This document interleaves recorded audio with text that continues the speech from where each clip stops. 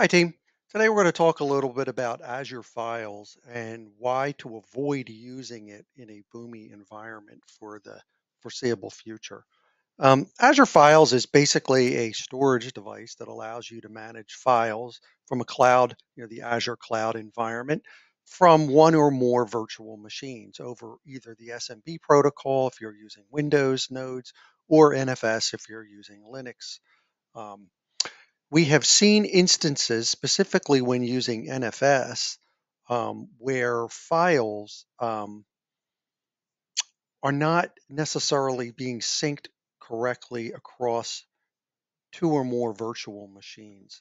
So to kind of just illustrate this um, in a very simple manner, um, in a Boomi environment where you have a JVM or a Java virtual machine running on two different virtual machines, um, could be a molecule configuration, could be a cloud configuration, could be a Kubernetes configuration.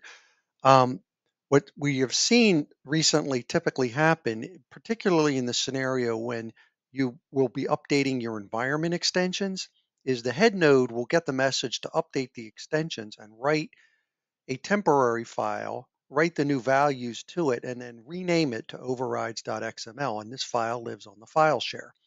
If this file share is implemented using Azure files, problem comes in when the head node tells the child nodes to go read the new values.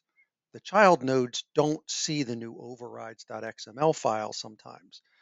Um, and while there is no error currently in the container logs when this occurs, I will note there's an enhancement uh, in, in Works to, uh, to log this scenario. But if you look at a more detailed strace output, um, which the Linux operating system allows you to see. On the child node, we see um, typically here, when it goes to access the file, it gets a error indicating the file or directory, in this case it's a file, does not exist.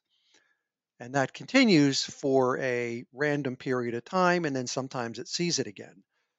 Um, so at this time, we would recommend you use NetApp's storage devices on Azure as we have not been able to, we have not seen the problem, nor can we reproduce the problem. Um, and we continue to investigate the root cause of this issue. Um, but for now, we would say stick with uh, NetApp's as your file store device on Azure and avoid using Azure files. Thanks. Happy uh, integrating. Um, thanks for your time and uh, good luck. Talk to you all soon. Bye.